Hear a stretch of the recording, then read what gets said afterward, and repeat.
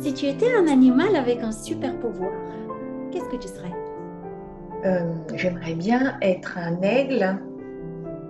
J'ai toujours cette image de l'aigle qui étend ses ailes et qui distribue des petites bulles d'amour ou des petites pépites d'amour au fur et à mesure de son vol. Et, et nous, on reçoit des petites pépites d'amour. Si tu étais un objet magique, Un miroir qui nous renvoie notre beauté et notre richesse. Si tu étais une plante rare, Un épi de blé qui se reproduit à l'infini.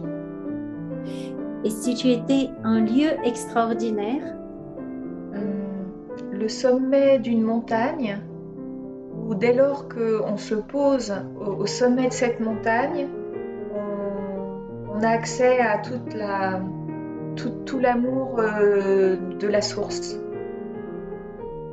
si tu étais une couleur ou un motif qui parle, Je pense moi au vent, euh, au, vent, la lumière, un mélange de vent, de lumière et d'eau qui produisent euh, des, des- couleurs irisées. Tout ce qui est irisé, pour moi, le, nacre, les, les couleurs irisées, c'est, pour moi, c'est un émerveillement, c'est de la magie pour moi. Donc je peux très bien imaginer le vent, la lumière, l'eau, et, et en même, et ça crée des- des couleurs. Si tu étais un élément de la nature qui fait des blagues, Le vent encore. C'est- tellement drôle, le vent, ce qu'il peut faire. Enfin, c'est tellement beau. Et moi, je, souvent, je- j'entends euh, par parler le vent, moi.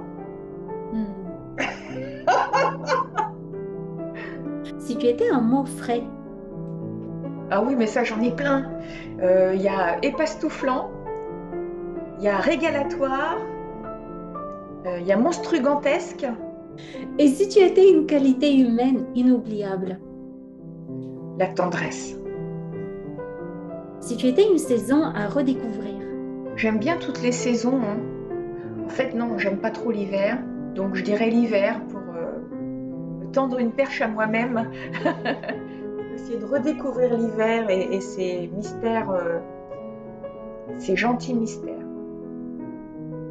Si tu étais un sentiment à déguster, La présence attentive. si tu étais une œuvre d'art enchanteresse. Oh, une flûte. Merci beaucoup Muriel. Bah, merci à toi. Vraiment, je suis touchée. C'est super. Merci, Stella.